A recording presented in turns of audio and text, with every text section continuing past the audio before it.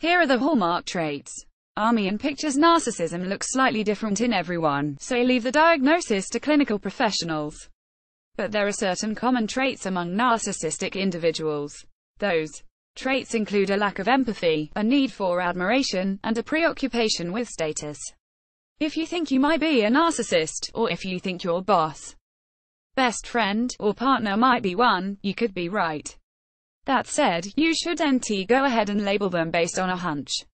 Leave the diagnosis to a clinical professional. Narcissism looks different in everyone, and varies in extremity. But psychologists and researchers have pinpointed a few key characteristics that apply to almost all narcissists. They are view as one-page slides.